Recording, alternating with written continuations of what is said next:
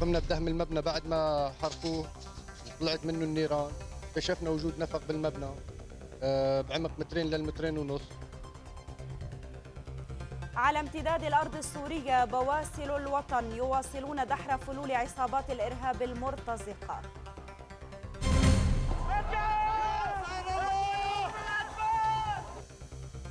ربيع العرب عشرات الضحايا بتفجيرات إرهابية في العراق. وقتلى برصاص الأمن اليمني وفوضى السلاح تجبر قائد الجيش الليبي على الاستقالة.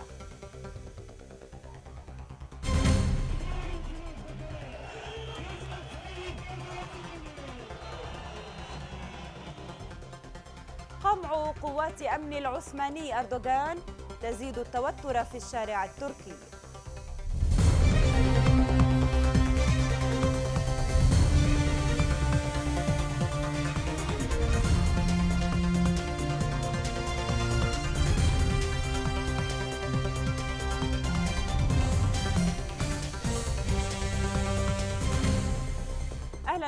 بكم مشاهدينا الكرام إلى هذه النشرة الإخبارية من تلفزيون الدنيا في دمشق. حافظ الأسد اسم أكبر من كل لقب وقامة وطنية في تاريخ سوريا والعرب. هو من هابه الغرب حتى قال عنه أحد رؤساء الولايات المتحدة الأمريكية إنه مرشح لقيادة العالم. 13 عاما على الرحيل ولا تزال سوريا على الوعد والعهد حرة عصية حتى انقضاء الدهر. الوطن غال والوطن عزيز والوطن شامخ والوطن صامد لأن الوطن هو ذاتنا. فلندرك هذه الحقيقة. ولنحب وطننا بأقصى ما نستطيع من الحب. وليكن وطننا هو المعشوق الأول الذي لا يساويه ولا يدانيه معشوق آخر. فلا حياة إنسانية بدون وطن ولا وجود إنسانيا بدون وطن. خالد في الذاكرة والوجدان. خالد في الأذهان. قيد صمود. يوم أضاع العرب مفتاح القضية. فكانت سوريا في مهب الريح بوصلة الأمان. وكان القائد العنوان. الأمين أبدا على فلسطين وعلى الجولان. تفوح عزة من تراب سوريا وبها. فكشفت أوراق الزمان حيث يكون الوطن فينا كرامة الإنسان. إنه حافظ الأسد. وعلينا أن نستمر في الإعدام لطرد العدو من كل شبر من أرضنا العربية المحتلة. أهدى السوريين تشرين مرتين وأهدى العروبة ألف مرة كرامة الصمود حتى غدت قلاعها دمشقية وغدا على جبين التاريخ رمزا من رموز الوطنية. غدا حضنا للمقاومة يوم قبل الآخرون المساومة يوم قبلوا صلح إسرائيل والغرب فكانت الأرض مقابل السلام وكان أيضا ما أخذ بالقوة لا يعاد إلا بالقوة. قد يخطر لأصحاب الأنفاس القصيرة الذين دخل اليأس نفوسهم وهم موجودون على مستويات عديدة أن خير الطرق وأسلمها هي أقصرها. وأقصر الطرق هي أن ننال بعض حقنا ونتنازل عن بعضه الآخر. ويسمون هذا تنازلات متبادلة. تعني في حالتنا أن يتنازل لنا العدو عن بعض حقنا. ونتنازل له نحن عن بعض حقنا الآخر. وهذا ما نسميه نحن استسلاما. في ذكرى رحيل حافظ الأسد القائد الخالد يقول السوريون نشد من نضالك الأزر ومن إيمانك بالشعب الإرادة وإن على دربك نكمل الدرب مع بشائرك نمضي حتى القدس من أجل الوطن المعشوق الأول والمعشوق الأخير.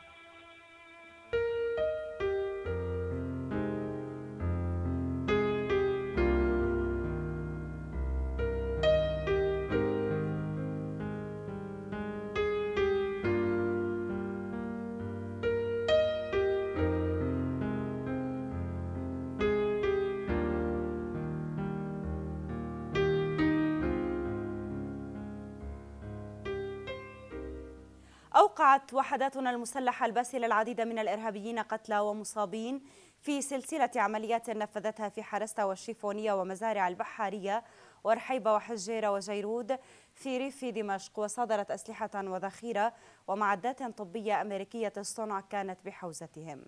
وذكر مصدر ميداني لموفد الدنيا أنه تم القضاء على خليل زينو متزعم مجموعة إرهابية مسلحة تسمي نفسها سرية قمر بن هاشم ومعظم أفراد مجموعته من بينهم عبد الكريم الحج في مدينة حرستا وأضاف المصدر أن وحدة عسكرية قضت على أعداد من الإرهابيين قرب سكة القطار الواصلة بين ميدعة وضمير في مزارع البحرية بالغوطة الشرقية وصادرت أسلحة وذخيرة بينها قواذف أربجي ومعدات طبية أمريكية الصنع كانت بحوزتهم. وأشار المصدر إلى أنه تم تدمير مخبأ للأسلحة والذخيرة في مزارع الشيفونية بدوما وإيقاع إرهابيين قتلى ينتمون إلى ما يسمى كتائب شهداء دوما. من بينهم إرهابي يلقب بأبو عمر البلتاني في حين لاحقت وحدة من الجيش مجموعة إرهابية كانت تعتدي على الأهالي وممتلكاتهم في بلدة رحيبة وفي محافظة طرطوس تم العثور على نفق بطول 30 مترا في منطقة بطرايا بين رأس النبع والمرقب. وقال مراسل الدنيا في المحافظة إن النفق يحوي أسلحة وذخائر وعددا من العبوات الناسفة وصواعق كهربائية إضافة إلى بزات عسكرية عليها شعار جبهة النصرة. تستمر قوات الدفاع الوطني بالتعاون مع الجيش العربي السوري بحملة مداهمات وتمشيط ضمن قرى بانياس لبعض المزارع والمنازل. تم خلالها العثور على عدة أنفاق في منطقة رأس النبع. كانت تستخدمها عصابات جبهة النصر الإرهابية في الاختباء والتخطيط. هذا المبنى قام المسلحين بإحراقه لإخفاء أدلهم وجرائمهم هون. وقمنا بدهم المبنى بعد ما حرقوه وطلعت منه النيران. اكتشفنا وجود نفق بالمبنى. آه، بعمق مترين للمترين ونص. وبغمق يتراوح آه، طوله بين ال 20 لل 25 متر. ووجدنا كثير من الأدلة وجدنا أسلحة وجدنا آه، أجهزة اتصال لاسلكي كلها محروقة. وجدنا متفجرات وجدنا صواعق فتايل شارات أعلام. هذا مؤسس له مسبقا هذا في له هون مدخل نظامي. جاهزينه هني. وحافرين عليها يعني على شبه خريطة إجباري حكما. لأن بعد ما قاطعين نقطة بعمق متر للمتر وربع راجعين للخلف وحافرين بالاتجاه المعاكس. طالعين عندن بالداخل مخرج مبين المخرج يعني محطوط فيه خشب ومحطوط له سطح باطون مسبق الصنع يعني مجهز ومردوم بالتراب. آه، هنا يقوم عناصر الدفاع الوطني بالحفر بحثا عن مخرج النفق الذي تم العثور عليه منذ قليل. نحن شفنا النفق من جوا بناء على التقديرات. قدرنا إنه مكانه هون. وجينا حفرناه مثل ما انكم شايفين. نهاية النفق اللي كنا شايفينه من قبل من تحت. هاي البلاطة كانت فوق النفق. هنا كانت تجتمع بعض قيادات الإرهابيين في منطقة بانياس آه، لإدارة بعض عملياتهم آه، فهنا كان اجتماعات أوكارهم للتخطيط لما سيقومون به ضد عناصر الجيش العربي السوري. تم العثور أيضا خلال التمشيط على عدة أنفاق أخرى وجد داخلها ما يعود للعناصر الإرهابية المسلحة التي كانت في المنطقة. آه، عصبات آه، تدل على وجود آه، جبهة النصرة عصبات جبهة النصرة بالإضافة إلى كتائب شهداء بانياس أسلاك كهربائية بالإضافة إلى دارات توصل على بشكل تسلسلي أو إلى العبوات الناسفة وتفجيرها عن بعد أجهزة تفجير عن بعد جهاز اتصال لاسلكي. بارودي أوتوماتيك بالاضافه إلى آه، مستلزمات آه، مستلزمات طبية. لأنهم حماة الديار الساهرون على أمن الوطن وحمايته فلا مفر للإرهابيين من قبضاتهم. لأخبار الدنيا الفضائية علي الكنج بانياس.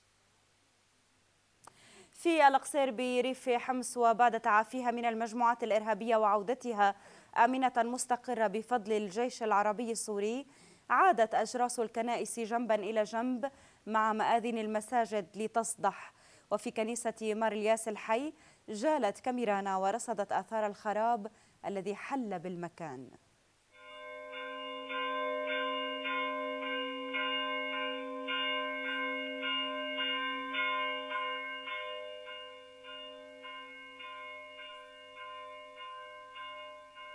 اليوم عادت أجراس كنيسة ماريلياس الحي لتقرع في القصير معلنة عودة من غادرها وأن الصلوات سترفع من هنا من جديد لأجل الوطن لأجل سوريا لأجل كل من صمد وثبت على الموقف فشد الجيش العربي السوري على يده ليعود إلى القصير. هنا عندما تدخل وجب الخشوع والتضرع إلا أن الإرهابيين من مقتحموا الكنيسة دخلوها بكفر الإرهاب فكان الخراب والتدنيس حيث فخخت الكنيسة لتدميرها وتدمير النسيج الاجتماعي المتعايش هنا على الأرض السورية.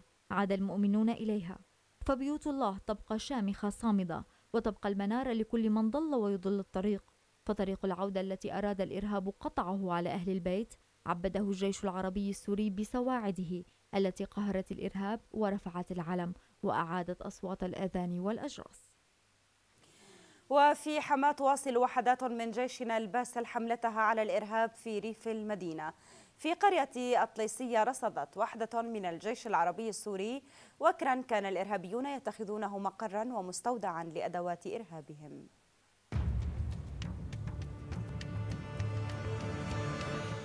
فوضى المكان وكل الجدران تنطق بهمجيتهم بجرائمهم بحقدهم. وسلبهم كل الأشياء حتى قدسية الأسماء. الإرهابيون قبل الدحر كانوا هنا في الحجر يختبئون ويطمرون أسلحة الجريمة. وبعد أن طردوا أهل الدار واخترقوا حرمة الجار وعاثوا فسادهم فرموا دم الألوية أمام دخول الجيش العربي السوري إلى قرية طيلسيه في ريف حماة.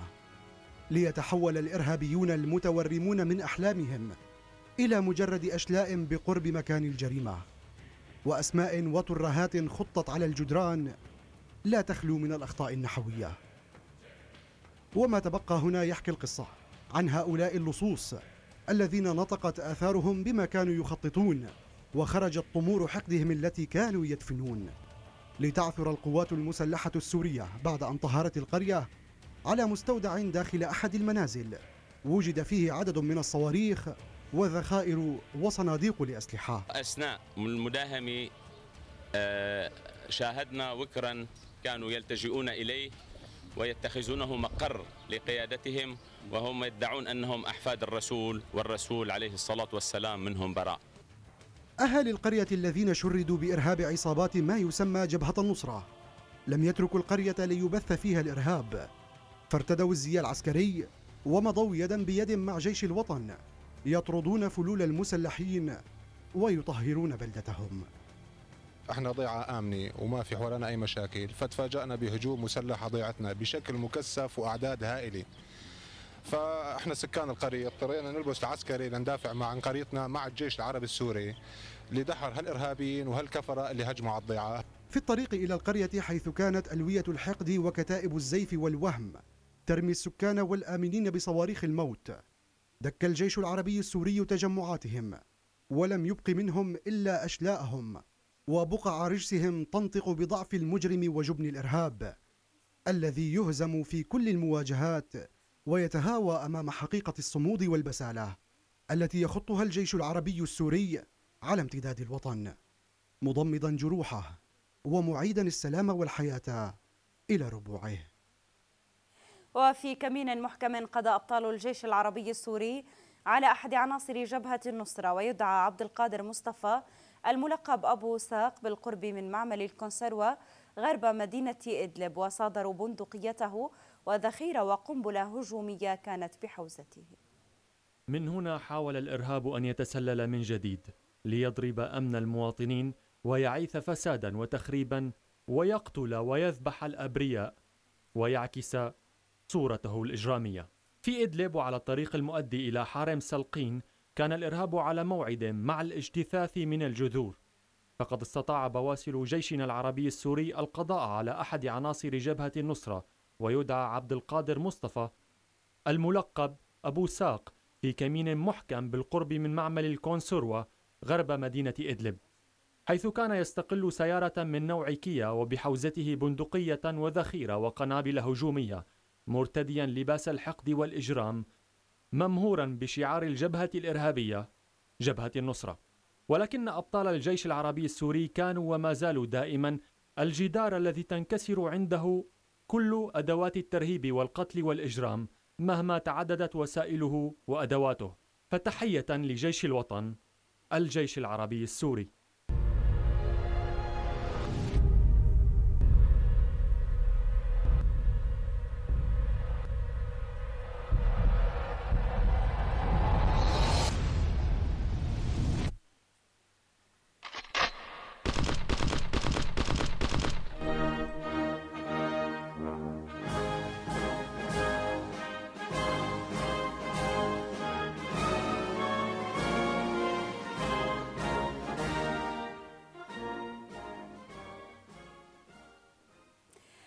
أكد رئيس مجلس الوزراء السوري وائل الحلقي أن القطاع الصحي يحظى باهتمام القيادة السياسية والحكومة بدليل تحسن الإجراءات الصحية وزيادة عدد المشافي والأطباء والتجهيزات في السنوات الأخيرة.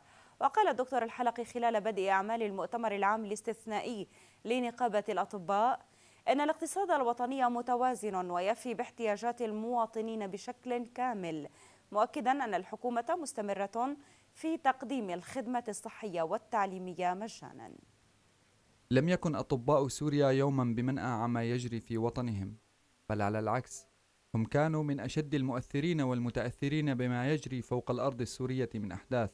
الكوادر الطبية تم استهدافها بشكل مباشر في سبيل هدفين. الأول التأثير على الوضع الصحي الجيد الذي كان يحظى به المواطن السوري. والثاني هو إفراغ المجتمع السوري من أي كوادر مهمة وخصوصا الكوادر الطبية. المشافي دمر الكثير منها والمراكز الطبية خربت ونهبت في الكثير من المناطق. والأطباء وأفراد الكوادر الطبية تعرضوا للقتل أو الخطف أو التهديد.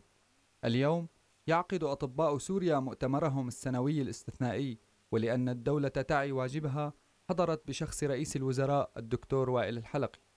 الحلقي تحدث بصراحة عن كل المجالات الطبية والاقتصادية والاجتماعية والسياسية أيضا ووضح أسلوب ونهج عمل الحكومة في التصدي للتحديات التي تواجهها في ظل هذه الحرب التي تستهدف الشعب السوري.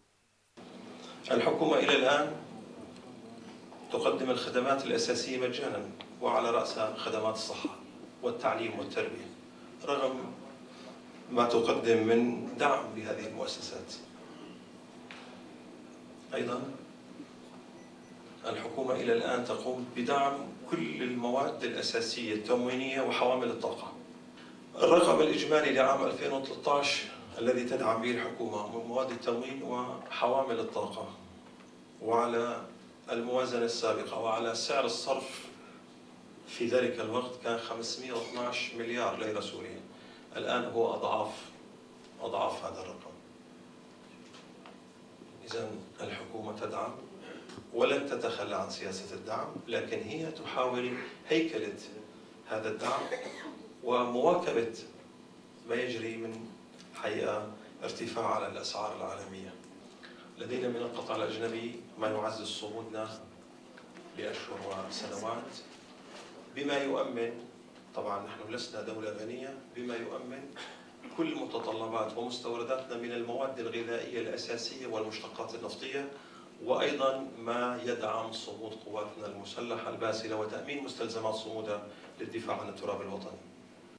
وزير الصحة من جهته طمأن الحضور ليطمئنوا الآخرين أن القطاع الصحي في سوريا ما زال متماسكا ومؤثرا والوزارة تعمل بجهد لتلافي النواقص الضرورية لحسن سير العمل والحفاظ على مستوى صحي لائق للمواطن. من حيث المعامل الدوائية أقول لدينا 72 معمل دوائي في سوريا لدينا أمن دوائي بنسبة 93% كما تعلمون أما 7% الباقية فهي أدوية نوعية تستوردها وزارة الصحة من الدول المختلفة. أطمئن الجميع أن المخزون الاستراتيجي لوزارة الصحة هو 100% من حيث المواد الإسعافية والتجهيزات الإسعافية. لا أقول 90 وإنما 100% مستودعاتنا مليئة بكل ما تحتاجه البلاد من أمور إسعافية. المعنيون بالقطاع الصحي اجتمعوا ليسمعوا ويقولوا رأيهم والحكومة استمعت لتساؤلاتهم بعناية والإجابة جاءت على لسان رئيس الحكومة ووزير الصحة في الحكومة السورية. الاهتمام بالقطاع الصحي أولوية لأنه معني بالمواطن والمواطن هو الغاية وهو الهدف. تركز لقاء نائب وزير الخارجية والمغتربين السوري الدكتور فيصل المقداد مع الوفد الإعلامي المصري الذي يزور سوريا حالياً على التطورات في سوريا والأوضاع في المنطقة العربية والتحديات الغربية التي تستهدف تفتيت المنطقة العربية خدمة لأغراض إسرائيل وهيمنتها وتصفية القضية الفلسطينية. وأكد الدكتور المقداد على العلاقات التاريخية التي تربط الشعبين في سوريا ومصر ودور المؤسسات الإعلامية في تعزيزها خاصة أنها تخدم مصلحة الشعبين في كلا البلدين. كما رحب الدكتور المقداد بأي جهد تقوم به الجهات المدنية والإعلامية في توعية الرأي العام المصري حول ما يجري في سوريا خاصة لإنهاء التضليل الذي تمارسه بعض الجهات لدفع بعض المغرر بهم من المصريين للانضمام إلى المجموعات الإرهابية المسلحة في سوريا. من جانبهم أكد الإعلاميون المصريون حرصهم على سوريا وسيادتها واستقلالها وتضامنهم مع شعبها لمواجهة الهجمة الإرهابية التي تتعرض لها بتحريض من بعض الدول الغربية وأدواتها في عدة دول عربية. منددين بالدور المشبوه الذي تقوم به الجامعة العربية في هذا المجال. استضاف المنتدى السوري الأمريكي في بنسلفانيا مندوب سوريا الدائم في الأمم المتحدة الدكتور بشار الجعفري فكان لقاء عبر عن عمق انتماء السوريين الشرفاء في المغترب بوطنهم الأم سوريا.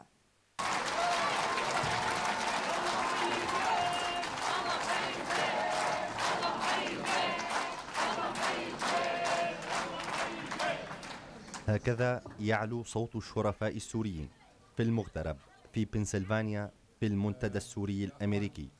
خلال لقاء أسد الدبلوماسية السورية بالمغتربين السوريين في الولايات المتحدة الأمريكية. صوت السوريين للعالم عبر عنه الدكتور بشار الجعفري بأنه لم ولن نرضى بأن نكون نعاج ونحن السوريون نعرف البوصلة ولن نضيعها ووصية يوسف العظمة مستمرة عند كل السوريين. القصة مش قصة أزمة سورية أبدا. عندهم معضلة كبيرة اسمها أنه نحن لا نستطيع أن نحل الصراع العربي الإسرائيلي حلا عادلا آه، يضمن حقوق الجميع. إذا إذا نحن لازم نستبدل صراع بصراع لأنه نحن كشعوب مثل ما قال هذا رئيس الوزراء القطري سمى حاله نعجة.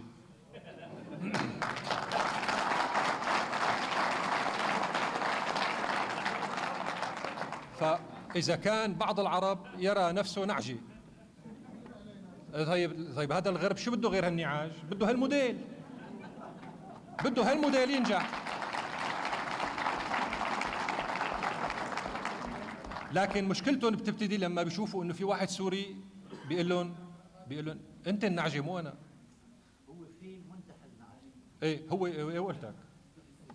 فالسوري لا يقبل أن يكون نعجي لم يقبل ولن يقبل. ماشيين على الطريق الصح.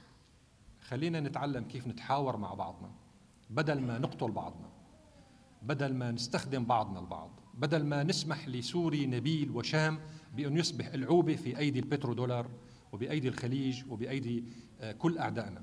يوسف العظمي عندما خرج إلى ميسلون يقاتل الجنرال غورو سجل صفحة مهمة في تاريخنا تقول للعالم كله أن من يريد أن يأتي إلى سوريا لاحتلالها سيواجه بالمقاومة. وحول قضية خطف مطراني حلب أكد الجعفري أن الدولة مستمرة في متابعة هذه القضية وهي توليها جل اهتمامها. نحن طبعا نقلنا برسالة رسمية إلى مجلس الأمن والأمين العام قصة خطف آه، نيافة المطرانين وطلبنا من مجلس الأمن أن يضغط على الدول التي لديها تأثير على المجرمين والإرهابيين داخل سوريا والعصابات المسلحة لإطلاق سراحهم. هذا واحد. اثنين آه، طبعا دمشق تتابع الموضوع بكل يعني دقة والعاصمة لديها معلومات أكثر مني بكثير. آه، والعاصمة بالمطلق تعرف أين أين يوجد المطرانان وهناك خطة عمل آه، تسير عليها الدولة في هذا الموضوع. المطرانين انخطفوا على بعد 100 متر من الحدود التركية وكانوا قد دخلوا لتوهم من الحدود التركية إلى الحدود السورية. تماما كالحجاج اللبنانيين يلي انخطفوا على الحدود التركية السورية. بمعنى آخر أن هناك إيد مخابرات تركية في الموضوع ويجب أن يمارس الجميع الضغط على الحكومة التركية لإطلاق سراح هذين المطرانين. سوريا الوطن. ممثلة بصوت الحق والدبلوماسية العالية للدكتور الجعفري واثقة بقدرة أبنائها من الجالية الحكيمة الذين تعتبرهم جسور ثقافة وحوار لتشرح حقيقة ما يجري على الأرض السورية. فهم السفراء لسوريا المحبة سوريا الحضارة سوريا الوطن الأغلى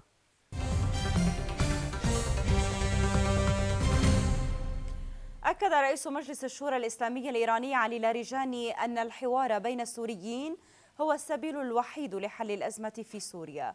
وحذر لاريجاني خلال استقباله رئيس مجموعة الصداقة البرلمانية الكويتية أحمد عبد المحسن المليفي من أن مشروع بث الفرقة والاختلافات بين الدول الإسلامية هو مؤامرة يقوم بها أعداء الأمة الإسلامية. وقال إن بعض القوى تسعى لتصعيد الاختلافات وأضعاف الشعوب الإسلامية من خلال بث الفتنة بين الدول الإسلامية ودعم المجموعات المتطرفة والمتشددة. أكد عدنان منصور وزير الخارجية والمغتربين في حكومة تصريف الأعمال اللبنانية أن جامعة الدول العربية ومنذ بداية الأزمة في سوريا لم تأخذ موقفا واضحا ومتجانسا يعبر عن الوضع هناك أو يمكن أن يوجد حلا مناسبا. وقال منصور في مقابلة مع قناة المنار أمس إن الدولة اللبنانية التزمت بسياسة النأي بالنفس حيال ما يجري في سوريا لكن هذا لا يعني أن تكون شاهد زور. موضحا أن على لبنان أن ينقل وجهة نظره وأن لا يؤيد ما يقوله الآخرون وأن يعلق على الخطابات التحريضية والتجيش الطائفي الذي يجري في الجامعة العربية. في الأردن انطلقت مناورات الأسد المتأهب بمشاركة ثمانية ألاف عسكري منهم أربعة ألاف وخمسمائة عسكري أمريكي وثلاثة ألاف عسكري أردني بينما تشارك 17 دولة بنحو 500 عنصر فقط.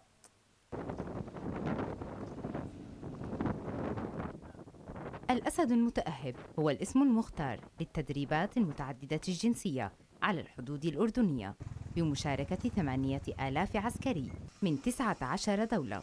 منهم أربعة آلاف وخمسمائة عنصر من الجيش الأمريكي والقوات الجوية والبحرية ومشاة البحرية الأمريكية وما يقارب ثلاثة آلاف عنصر من القوات المسلحة الأردنية وحوالي 500 عنصر من الدول المشاركة الأخرى منها بريطانيا وفرنسا وإيطاليا وكندا وبولندا وتركيا وتشيكيا. والباكستان والسعودية ومصر والعراق ولبنان والبحرين والإمارات واليمن والكويت وقطر. ففي مؤتمر صحفي مشترك بين رئيس هيئة العمليات في القيادة العامة للقوات المسلحة الأردنية ومدير التمرين والتدريب في مقر القيادة المركزية الأمريكية. أعلن محمد العدوان عن بدء فعاليات ومناورات الأسد المتأهب والتي ستمتد حتى العشرين من حزيران الحالي. وحول ما إذا كان للتمرين علاقة بالأحداث الجارية في سوريا قال العدوان إن التمرين ليس له علاقة بأي حدث من أحداث الإقليم حول الأردن على حد زعمه. لم نحضر الباتريوت من أجل صراع مع سوريا. إحنا أحضرنا الباتريوت حتى يشارك في تمرين الأسد المتأهب. أه بحب أقول للجميع أيضا أنه الأردن لديها القدرة الكافية حتى تحمي أراضيها. وإحنا قادرين وأنا متأكد 100% أنه القوات المسلحة الأردنية قادرة على حماية سماء ومياه وأراضي المملكة الأردنية الهاشمية من أي تهديد خارجي. رفض العدوان إعطاء أي تفصيل عن عدد بطاريات الباتريوت وقال إن أعداد البطاريات المشاركة في التمرين هو عدد كاف وهي ستنشر في المكان المناسب. أما المتحدث باسم القيادة المركزية الأمريكية الكولونيل تايلر فلم يوضح عدد مقاتلات F-16 التي ستشارك في المناورات ولا عدد تلك التي ستبقى في الأردن.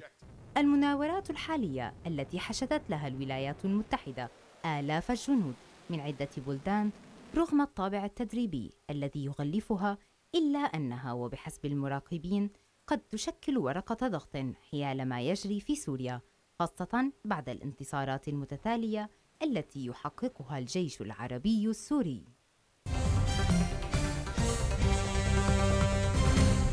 وزارة الصحة منذ بداية الأزمة وهي على استعداد تام وجهوزية عالية في كافة الجوانب للاهتمام بقطاع الصحة. ومنذ حدوث أي خلل ومنع حدوث أي خلل فيه من خلال تأمين كل الخدمات الطبية والمجانية في المشافي لجميع المواطنين. كاميرا الدنيا زارت مشفى ابن النفيس ونقلت صورة عن واقع الخدمات الصحية المؤمنة فيه.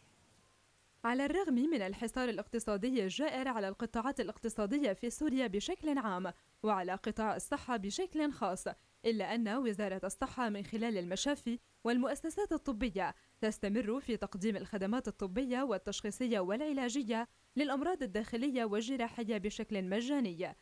أنا عم باخذ اليوم إبر Remicade. هو عبارة عن إبر مناعية بتقوي المناعة وأنا باخذها free مجانا. هي كل إبرة سعرها 65 ألف برا.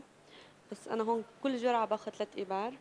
كل إبرة حقها 65 و free من من مشفى ابن النفيس. ما عم ياخذوا ولا شيء يعني مشفى ممتازة.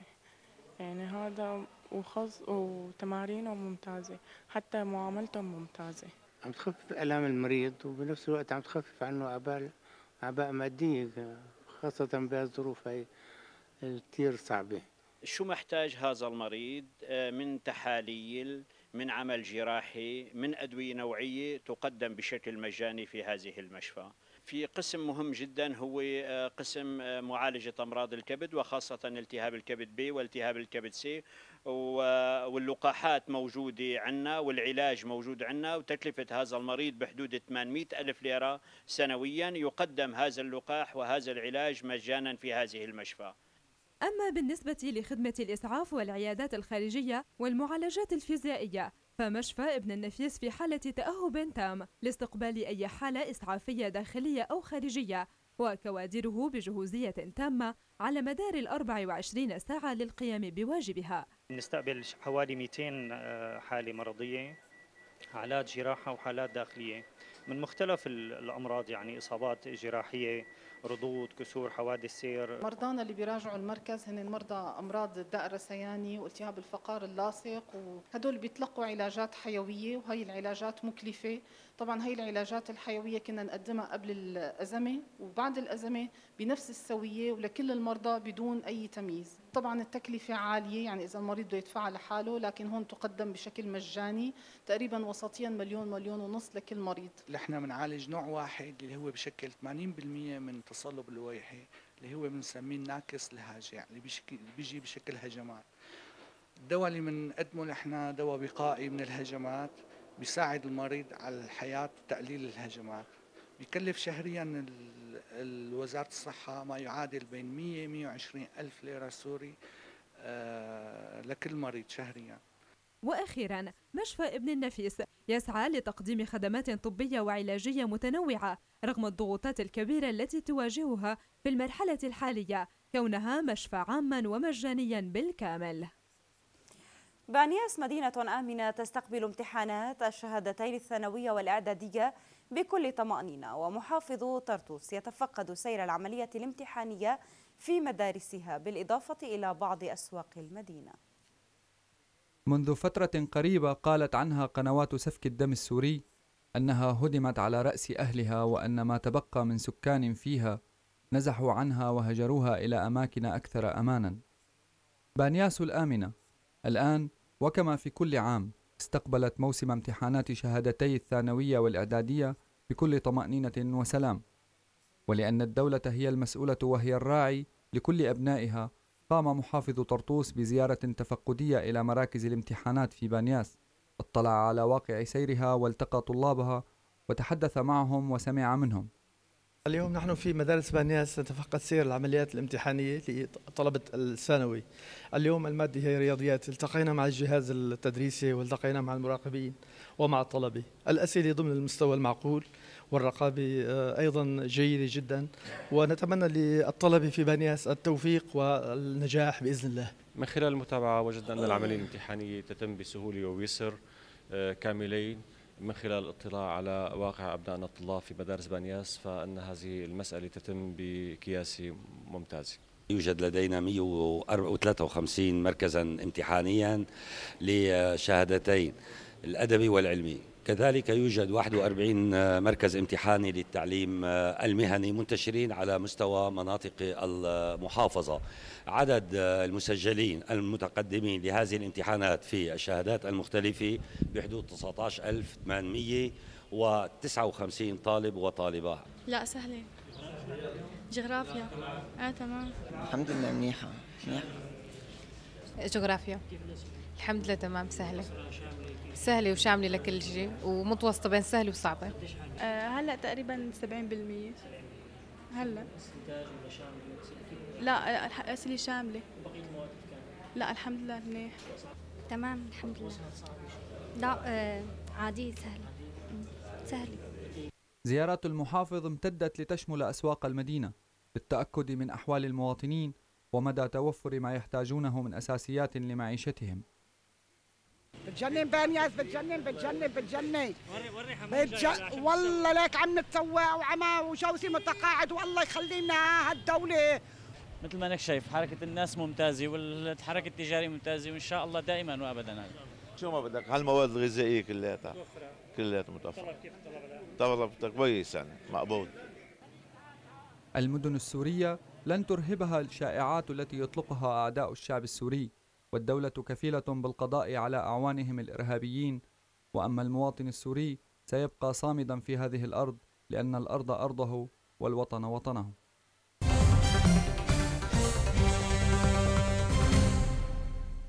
استكملت وحدات الجيش اللبناني أمس تنفيذ الخطة الأمنية الموضوعة لمدينة طرابلس وانتشرت في الأحياء التي تشهد توترا أمنيا.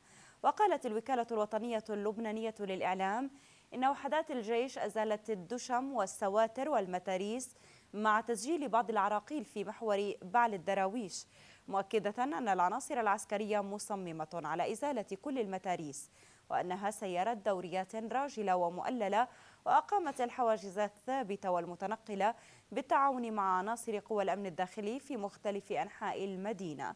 وأشارت الوكالة إلى أن حركة السير في المدينة عادية ولم يسجل أي خرق أمني. في المشهد العربي تفجير إرهابي بمفخخة في سوق شعبي بمنطقة التاجي شمال العاصمة العراقية بغداد. يسفر عن سبعة شهداء وستة عشر جريحا. في هذا الوقت ارتفع عدد ضحايا التفجيرات الإرهابية بأربع سيارات مفخخة في محافظة ديالى ومنطقة التاجي إلى عشرين شخصا على الأقل وإصابة نحو سبعين آخرين بجروح. وفي اليمن قتل شخصان بعد إطلاق النار من قبل قوات الأمن اليمنية على تظاهرة في العاصمة صنعاء. الربيع العربي الدامي في المتابعة التالية. دماء وإرهاب وفوضى هو حال دول ما سميت دول الربيع العربي.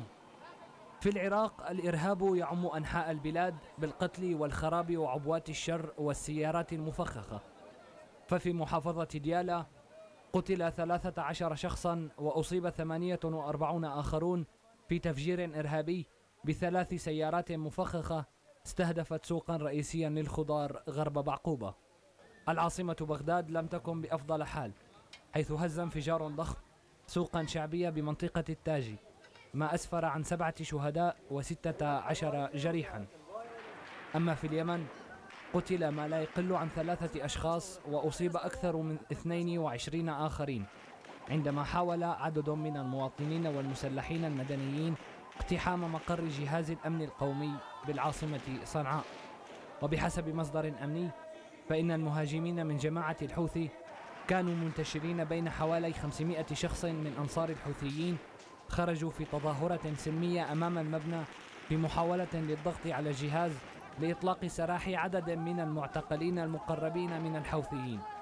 أما في ليبيا قبل المؤتمر الوطني استقالة رئيس الأركان اللواء يوسف المنقوش على خلفية الاشتباكات المسلحة بمدينة بنغازي والتي سقط فيها عشرات القتلى ومئات الجرحى والتي كانت خلال تظاهرة أمام مقر قوات درع ليبيا للمطالبة بانسحاب الميليشيات المسلحة من المدينة.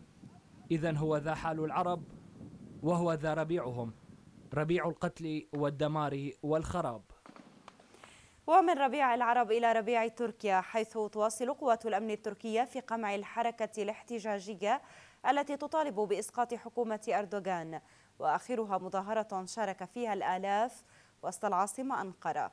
وفي إسطنبول تحولت ساحة تقسيم إلى ساحة للحرية مع تظاهر مئات الآلاف مرددين هتافات تنادي برحيل أردوغان.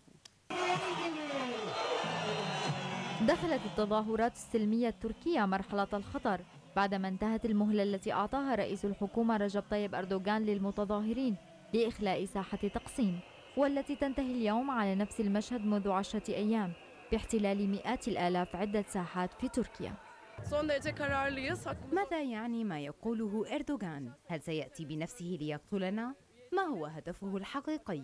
فعاصفة المحتجين لم تهدأ وإنما ازدادت حدتها متخذة من تحدي أردوغان لها وقودا خصوصا بعد الدعوة التي وجهها إلى أنصاره إضافة إلى وصفه المتظاهرين بالجبناء الذين وصلوا لحد التجرؤ على شتم رئيس وزراء هذا البلد حسب تعبيره. واضعا نفسه في القمة مؤكدا أن نظامه يمثل جميع الأتراك من دون تمييز داعيا أنصاره إلى تلقين المتظاهرين درسا في الانتخابات البلدية المقررة العام المقبل. هناك حد لصبرنا. لذلك على أولئك الذين لا يفهمون السياسة ويختبئون وراء المحتجين أن نعلمهم معنى الديمقراطية. التوسع الملحوظ والسريع للمظاهرات التي اندلعت حيث انتقلت من إسطنبول إلى أنقرة وأزمير وغيرها من المدن التركية على خلفية أحداث سياسية قد تكون بداية لحركة عصيان مدني. حسب المحللين الذين باتوا يستشعرون النار التي تكمن تحت الرماد والخطر الذي لا يمكن إغفاله. وهو تحول هذه المظاهرات والاحتجاجات إلى منحى آخر نتيجة التعاطي العنيف والمستفز من قبل الحكومة التركية مع حركة التظاهرات التي اندلعت في البلاد. ما يجعل الأحداث التركية مفتوحة على كل الاحتمالات ومن الصعب تحديد وجهتها. ذكرت صحيفة لوبوان الفرنسية أن أمير قطر الشيخ حمد بن خليفة آل ثاني يستعد لترك السلطة قريبا. وأضافت أن الأمير القطري بات ميالا لقضاء بقية حياته بعيدا عن الحكم وأن نجله تميم سيخلفه في السلطة. ورجحت الصحيفة أن يقوم تميم بتغيير رئيس الوزراء الشيخ حمد بن جاسم حال تسلمه مقاليد الأمور مشيرة إلى أن الشيخ حمد الذي يتولى الحكم منذ عام 95 و900 وألف أصابه التعب ويرغب في الابتعاد عن السلطة. قبل الختام بقي التذكير بأبرز عناوين هذه النشرة. قمنا بدهم المبنى بعد ما حرقوه طلعت منه النيران. اكتشفنا وجود نفق بالمبنى آه، بعمق مترين للمترين ونص. على امتداد الأرض السورية بواسل الوطن يواصلون دحر فلول عصابات الإرهاب المرتزقة.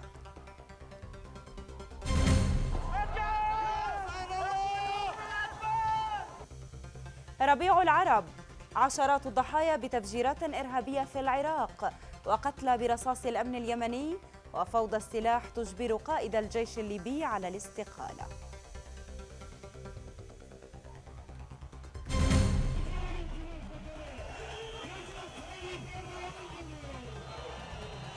قمع قوات أمن العثماني أردوغان تزيد التوتر في الشارع التركي. ختام هذه النشرة شكرا لكرم المتابعة بأمان الله.